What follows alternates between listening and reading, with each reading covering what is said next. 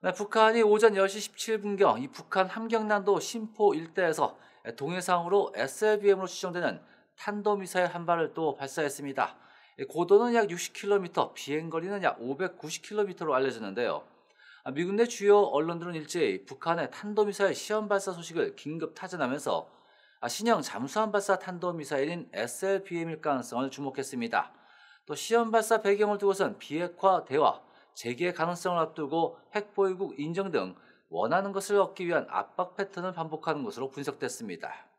네, AP통신의 보도입니다. 북한은 미국이 북핵과 관련된 대북 대화 제의를 재확인한 몇 시간 만에 탄도미사일을 시험 발사했다며 신속히 보도하며 탄도미사일이 심포에서 발사된 점을 주목했습니다.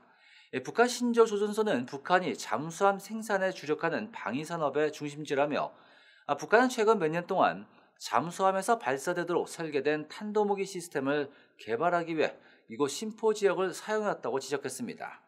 북한이 SLBM을 발사한 것은 2019년 10월이 마지막이었고 분석가들은 북한이 지난해와 올해 들어 군사 퍼레이드에서 최소 두 대의 신형 SLBM을 공개한 뒤 이러한 무기들의 실험을 재개할 것을 예상했다며 북한이 이미 여러 대의 미사일을 탑재할 수 있는 더 큰 잠수함을 건조하려는 징후도 포착됐다고 전했습니다.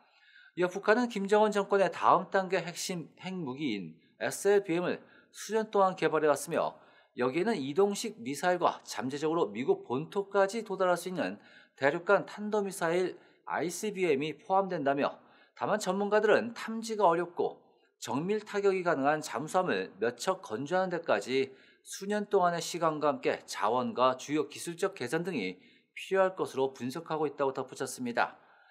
또한 북한이 한미 등과의 비핵화 회담 재개 가능성에 대한 기대가 높아지고 있는 가운데 또다시 미사일 시험을 강행한 것과 관련해서는 원하는 것을 얻기 위한 압박용이라고 분석했습니다.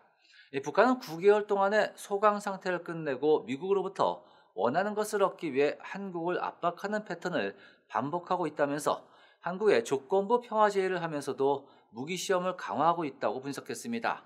또한 북한은 미국의 양보를 얻어내기 위해 남북관계 개선에 대한 한국의 바람을 이용하는 것이 분명하지만 조 바이든 행정부는 북한이 비핵화와 관련해 구체적인 조치를 취할 때까지 제재를 유지하려 고 있다며 이 때문에 한국의 자유 재량이 크지 않다는 분석도 나온다고 지적했습니다.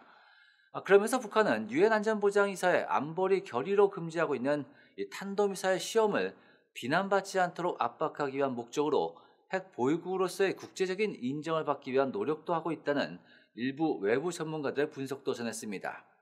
한편 AFP통신은 한국이 독자 개발한 SLBM 발사 시험 성공과 한국 국산 초음속 순항미사일 공개를 상기하며 영내 군비 경쟁 역시 심화되고 있다고 지적했습니다. 네, CNN은 또 이렇게 보도했습니다. 북한의 시험은 수개월 동안 한반도에서 고조되고 있는 긴장감에 이은 것이며 동시에 북한은 지난 10월 4일 남북 통신 연락선을 공식적으로 복원하는 것에 동의하는 등 남북 관계는 따뜻해지고 있다고도 전하기도 했습니다.